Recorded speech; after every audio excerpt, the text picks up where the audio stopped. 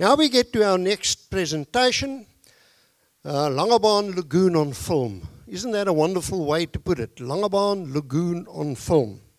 And we're privileged to have Dr. Alison Kock, who's a marine biologist, scientific services, Cape Research Centre, South African National Parks, SANParks. Now, I've got a, a CV of both Alison and her assistant. But this is, I'm, I'm not the scientist. Dr.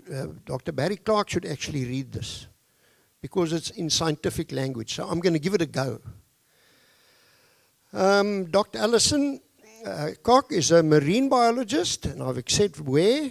Her research interests are studying the ecological role and behavior of top predators in temperate uh, ecosystems, from sharks to the African penguins. She evaluates the effectiveness of marine protected areas and monitoring species of conservation concern. She leads research, long term ecological monitoring, and science management activities in marine protected areas, MPAs, under the management of SANParks from Namakwa up on our Weskus, uh, right the way through to Agulhas, including the West Coast National Park, which is now changing its name to Weskus National Park. uh, she completed a PhD uh, at University of Cape Town and has published more than 60 scientific papers, technical reports, and also book chapters. Um, she ensures that scientific information is effectively converted into management and policy actions, underlined. Because it doesn't help we do all this and we don't convert that into executable implementation policy actions. She serves on several national scientific and technical working groups, including Scientific Authority of South Africa, the Top Predator Scientific Working Group, the National Marine Bio Biodiversity Scientific Working Group, uh, the seabird, shark, and marine mammal technical teams of the Department of Forestry, Fisheries, and Environment, and non profit organizations, Shark Spotters, and South African Whale Disentanglement Network. What a CV! Fantastic. But she's got an assistant, like the mayor, too. He has, also has an assistant. You can't do this on your own. And Sisanda Mayekiso is her assistant, and she'll also be part of the presentation. Sisanda is a junior marine scientist at the Cape Research Centre at the National SANParks. She conducts research and long term ecological monitoring in several marine protected areas with a focus on monitoring rocky shores in Namakwa National Park and marine fish and shark abundance and diversity using underwater cameras in West Coast, Table Mountain, and Robben Island marine protected areas. She has an MSc in mole molecular, molecular rather, fish genetics, and there's a word there that I can't pronounce. So I'm going to leave that word. And she got that uh, MSc from the Rhodes University uh, and was a WWF graduate leader intern before joining SANParks and she's now worked for SANParks for five years. So we're privileged to have speakers of this caliber here today, and it's a unique presentation. So I'm going to call to the fore Dr. Uh, Alison Kock first, and uh, Alison, you're going to take us underwater. We're going to be submerged. Okay, you want to use the mic. Yes. Good morning, everybody. Thank you so much to the Trust for um, inviting us here to present to you. Sisanda and I have attended the State of the Bay annual review for five years now, and we've sat in the audience like you have. And uh, every year we've said, oh, we need to present our results at some time. And, uh, and then this year, I've made the proposal to the trust, and, uh, and they accepted it, so thank you so much. And, uh, and now we are all nervous because we're much more comfortable working on a small boat at sea than standing here talking to a big group of people. But uh, we do believe that it's incredibly vital to communicate what we've been doing as SANParks in the lagoon and um, tell you a little bit more about that and then um, just uh, tell you a little bit more about the future work that we're going to be doing. So Sisanda and I will be sharing this presentation. I'll start off and then halfway through Sisanda will continue. And we really are presenting um, as part of a team. We can't do this work alone. Um, we've got our colleagues from West Coast National Park here um, and a lot of our colleagues from Cape Research Centre here as well. So this is a large team. It takes a lot of work uh, to, to do this work, um, to work at sea for, for long hours. We often work from sunrise until sunset. We're out on a boat um, and uh, sometimes we get stuck in the lagoon and uh, people need to climb out and push us off the sandbanks. Um, sometimes it's windy, sometimes it's sunny, sometimes it's rainy. Um, so we really do value all the commitment um, from our colleagues, the rangers, the managers, the environmental monitors, um, and, and our scientists. So why is it important to uh, monitor, to care? Well, I do work across a very large area, all the way from Namakwa to Agulhas. Um, I've worked in areas in the Eastern Cape, and we do have a lot of human activities that are impacting on the environment. And I see firsthand how those impacts have tipped the balance, where we've gone too far over onto the one side, and uh, we don't have a healthy environment left anymore.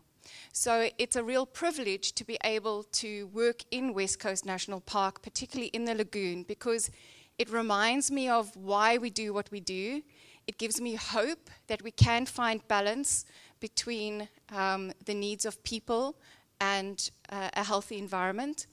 And um, it is a real privilege to be able to work in an environment that sustains so many livelihoods. The lagoon is incredibly important for nature. It's a breeding area for many of our fish, which are important for fishing, livelihoods, and a way of life. Um, it's a nursery area for those fish, and those fish depend on a healthy, clean environment, and it's incredibly important for people. All the way from using the lagoon to de stress, we all lead very stressful lives. We need a place that we can de stress, that we can relax, that we can find some inner peace. It's incredibly important for tourism. We know the diverse amount of tourist activities and companies and businesses that rely on this healthy environment. And it's incredibly important for livelihoods as a way of life. Many of uh, the traditions are based on Weskus, on its marine life, on its resources. Um, our, our recipes, you know, our food, what we eat, is based on these resources. So it's incredibly important uh, that we make sure that those uh, benefits that we get from nature we can continue to get from nature so that we can have the lives that we were used to or where we would like to see our lives go. But of course, there are many pressures on this environment, and we're going to hear a lot more about those pressures from, uh, from Dr. Barry Clark today. And um, we're going to um, understand a little bit more about what those pressures do on the environment. But it's incredibly important for us to understand how the ecosystem works. Um, and so it's, and that is because we need to understand how it works, what the populations are doing, what their health status is, identify any potential pressures, threats. And the reason for that is so that we can find solutions. It's important not to identify threats, but also to find ways that we can work together and solve any of the problems that we are seeing and to solve them in a timeless way. It's no point monitoring 20 years too late and now we've missed the boat to actually find a solution to the problem. So I'm going to be talking a little bit about a different kind of monitoring method that we have been trialing in Langebaan Lagoon, particularly in the marine protected area. And um, this really is to complement the existing monitoring that has been conducted by Barry and his team and other people working in the bay. And essentially, what it is is uh, BRUVs, baited remote underwater video cameras or video surveys.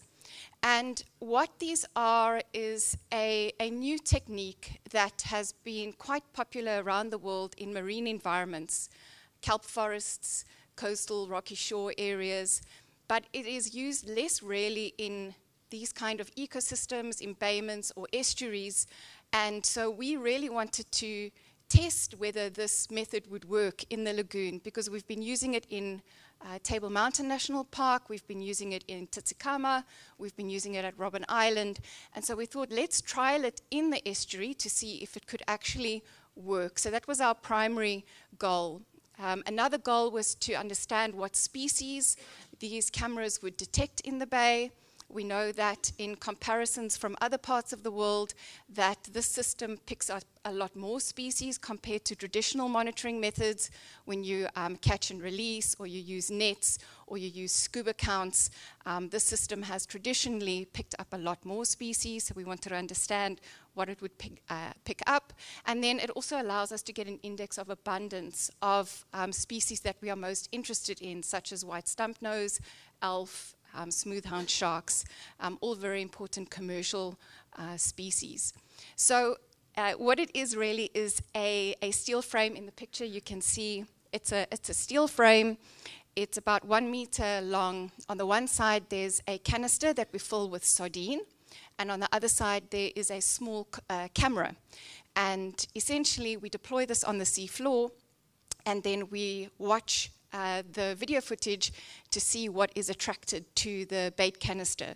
So it's a non-invasive technique. We don't have to catch the fish, um, and it's low cost, and the videos are there forever, so that 10 years from now, if someone has a different question about the environment, they can go back and have a look at those videos. It's a record forever, and we have very special ways of storing this information so that in 20 or 30 years' time, it will be available for other people to use.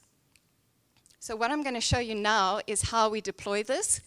So as I said, we're much more comfortable on the boat. um, and essentially this is um, from August this year. We were doing our winter sampling and uh, we've got the, um, the West Coast team on the boat and you can see the steel frame in here with the sardines in the bait canisters and then there's um, a, a, very special way to actually deploy this camera so that it lands straight on the sea floor and, um, as you can see here, you might be able to see in the bait canister, you can see a little bit of that scent of the sardine that is coming out. That's what's going to attract your fish. And, uh, and, and once we got it nice and straight, we then drop it down onto the seafloor and essentially it stays there for a minimum of one hour. And um, this is a standardized approach that we use um, using sardine and um, the, the one hour. And then when we are ready to retrieve it, whoops. Um, when we are ready to retrieve it, then um, it will stay there for an hour. And um, what we also get is um, the habitat type.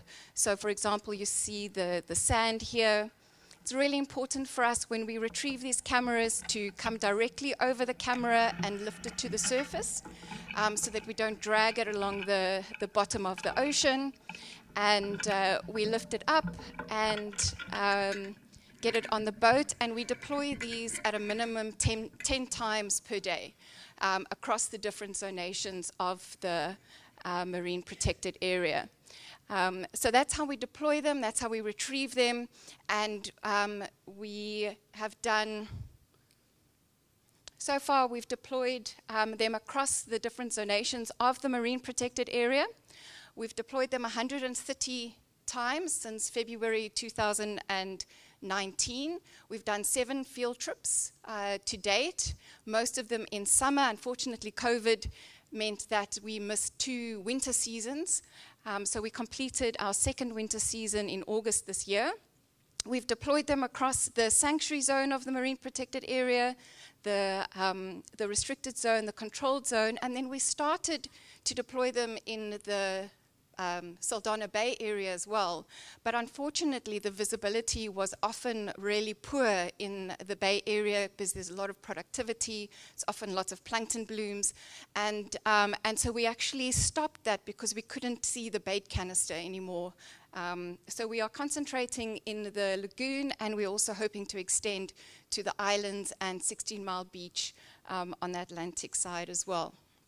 So what I'm going to do now is um, sh show you some of the fun part of um, what these videos actually tell us. Uh, so Langebaan on film.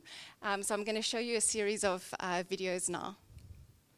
Oh, before that, how we do this. So the fun part is being at sea, deploying these, um, and then when we come back home, we have to analyze this. And for every one hour of video footage we get, is three to four hours of analyzing that data. And um, to date, my colleague Sisanda has done the, the vast majority of that work. And that means she has to watch that video footage, she has to stop it, play it, identify all the species. She needs to record those. She needs to record the time that she sees the species. And then she also needs to get an index of abundance from each species so that we can um, get the diversity of species and then also the abundance. And again, this is a lot of work that happens in the background, which um, Sisanda has been leading. So here's some of the videos, um, and and these are some of the um, the popular species. Who knows what these are? Ah, there we go. so uh, um, these are nice and abundant in the in the marine protected area, and you can see a nice shoal of uh, steentjies there. They love to be on film. Um, they seem to be very interested in, um, in the cameras. And it's really fantastic to see these kind of um, uh, species interacting, because often we just get to see them when they've been caught, you know, or they're on shore, and we don't get to see them um, like this.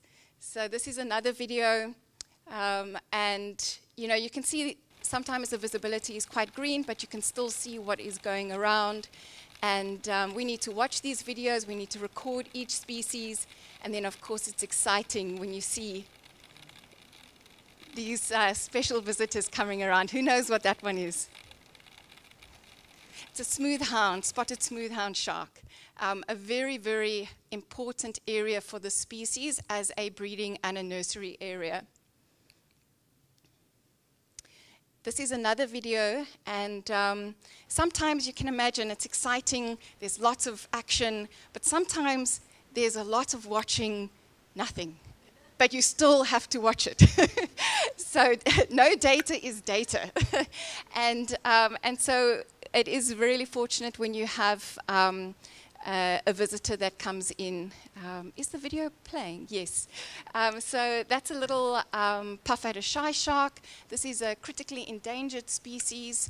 They are afforded protection in the MPA. Uh, they are not targeted specifically by fishermen, but in many of our trawl fisheries that happen just offshore, they are caught in their thousands as bycatch. So um, the species has been listed as critically endangered, but it does get protection from the marine protected area. Uh, what's also really nice is you get to see some really interesting behavior. So uh, you can see this special species um, making a turn. This species is not interested in the bait canister it's interested in what's being attracted to the bait canister. So we get to count the elf as well. And we've got quite a nice um, lot of videos with these predatory species in them. Um, so again, showing the diversity of the species that we are able to detect and also the behavior that we are able to see um, from, from these species. This is one of our, um, our, our, wonderful videos. This is from the sanctuary zone in um, the lagoon. And um, is really fantastic. You know, when you hear all this negativity and all this doom and gloom, to see videos like this where you've got blacktail and you've got white stump nose and you've got elf, it's just absolutely incredible to go, wow, there are still places of hope. And, um, and it just gives us that extra effort to um, to work harder to make sure that we have these spaces that uh, fish can still breed and can still um, make sure that you know we can we can catch them sustainably when we need to. And then this is the last video I'm going to show you today. There's a little crab. Sometimes the crabs really love to climb on the cameras, but we've got um, lots of juvenile fish. Can you see those at the bait canister? There's hundreds and hundreds, and then a visitor from out of space, the cuttlefish, coming to have a look. So, what's really nice to see from the cameras is that in the sanctuary zone, we've got thousands of juvenile fish um, Cape silversides, um, for example, that are attracted to the bait canisters. And, um, and those are really difficult to get an index of abundance of, um, and that takes an extra couple of hours. Um, but we need to do it systematically. We need to make sure that we can use these cameras and the data collected from these cameras um, for meaningful um, evidence that we can use. And um, Sisanda is now going to take us through some of the um, results that we've got from the last few surveys. So thank you very much.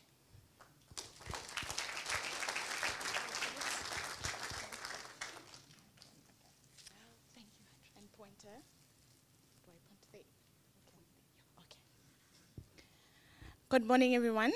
Uh, Okay, it's just cool to see the videos um, of what we have been doing here at West Coast National Park. Um, but unfortunately, we would love to see something that's happening in the Saldanha Bay, but because of the visibility, we couldn't do so. So we've got some interesting results. Um, with our um, uh, videos that we have, we have identified 19 species in total, coming from 14 families. And in our table, as you can see here, we do have some, um, we do have some um, fish and sharks and rays that are globally recognized as near threatened or vulnerable. So, um, in out of these 19 species that we have found here in our fish and rays that we have identified, we have four abundant fish namely which is your Cape silverside, your super klipfish, your white stump nose, and your steentjie. And we can see that they are mostly abundant. For example, here with your white stump nose and your super clip uh, and your super klipfish, they're mostly abundant in uh, in zone A. And then for the Cape silverside, as you have seen from the videos, the, those juveniles, they are mostly abundant in zone B. And then your steentjie in zone C and we can see that they are mostly abundant during the summer season. So this actually coincides with when these um, fish and those sharks that they are breeding during that time, which means which shows that that the lagoon plays a very important role for these fish and these sharks because it is um, playing a very critical role when these juveniles, for example, your Cape silverside, they're using the estuary um, they're using the estuary for nursery, and uh, also the um, white stump nose is also using this estuary because it's spawning that time. So those babies, even though it spawns in the in the sea, in the case of West Coast, it spawns in the bay, and then those juveniles, the larval stage, they're being taken care of in the um, Langebaan Lagoon. So it is very important, as the mayor has mentioned, that we have to work together and we have to work together and be one and take care of our Langebaan Lagoon so that we can make sure that it's in a healthy state because that's where the larvae, the juveniles, and the eggs, they have been taken care of. Okay, with our next slide, for uh, we have these four graphs that we have here. So I'll keep it as simple as possible, not to be that scientific. So um, for this presentation here, for the audience, I'll concentrate more in the abundance and in the diversity. So what we are finding here, we are finding that there's a high uh, abundance in zone B, and we are also finding um, high diversity in zone A.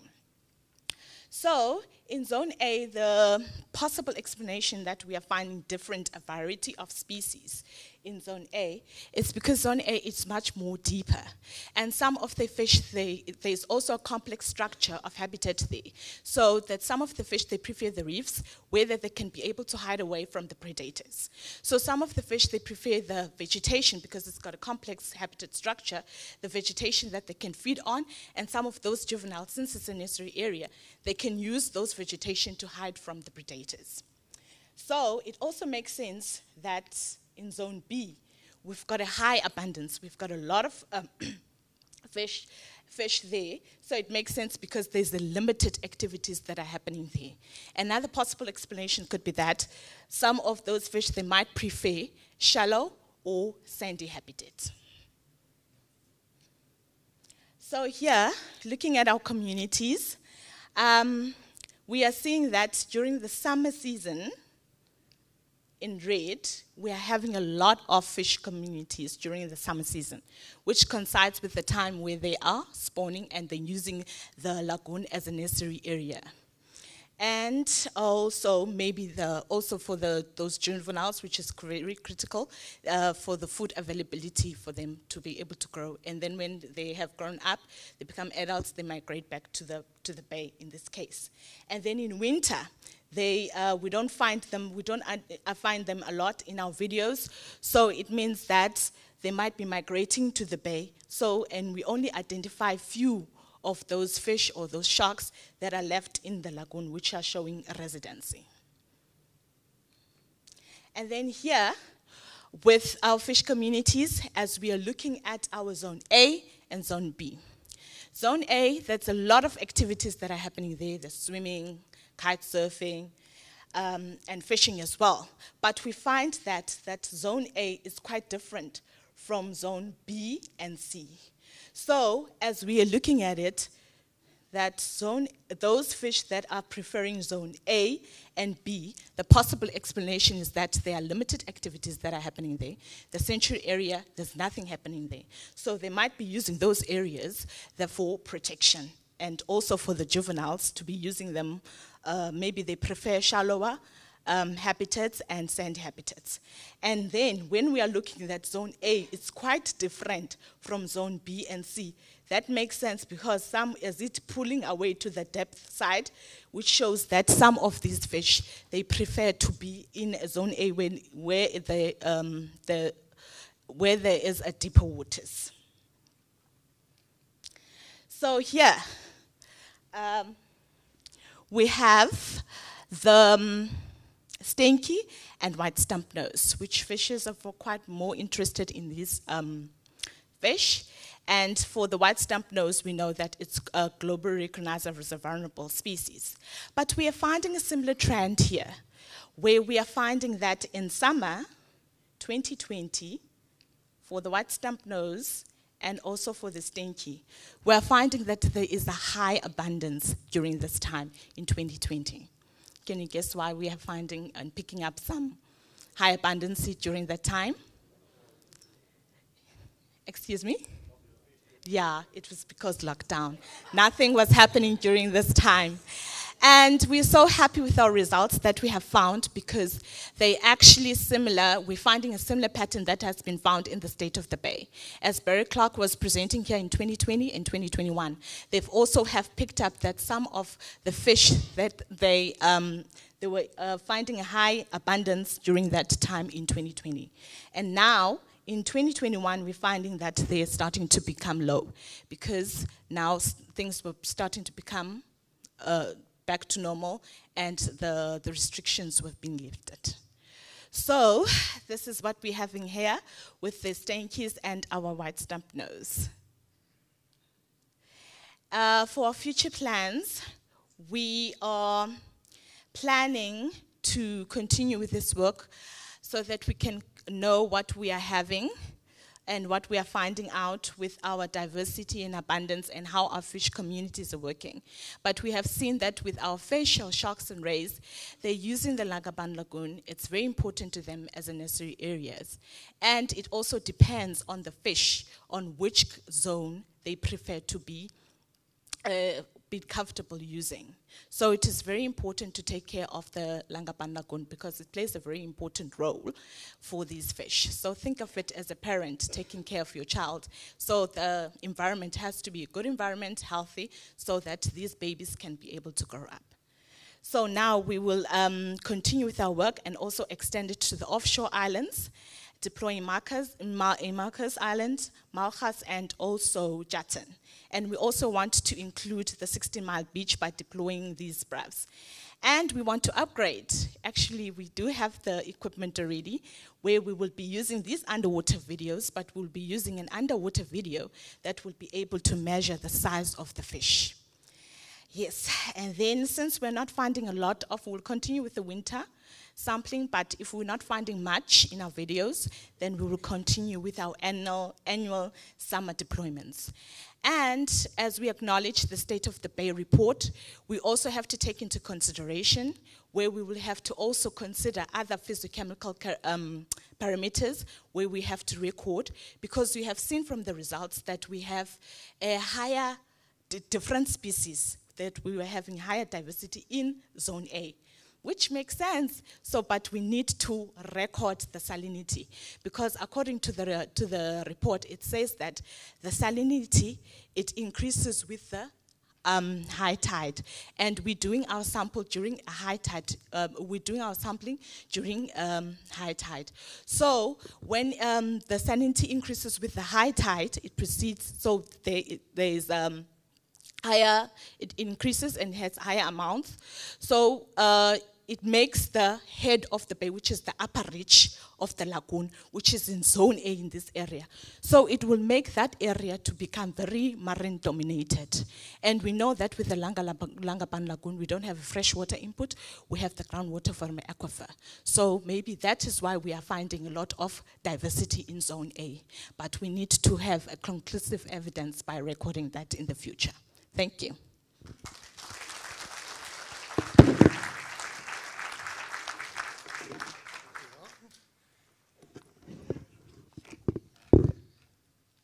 Wasn't that fabulous?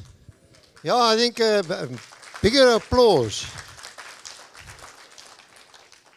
Yeah, that's fantastic. Well done. I'd like to ask uh, Pierre, who's uh, uh, in West Coast National Park, is one of our main actors there, to please hand over to both Alison uh, and her assistant to come and hand this over.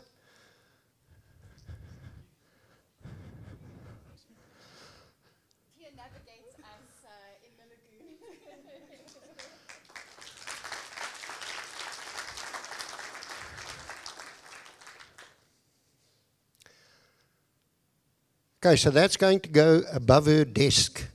So when she does her research, she does it in time.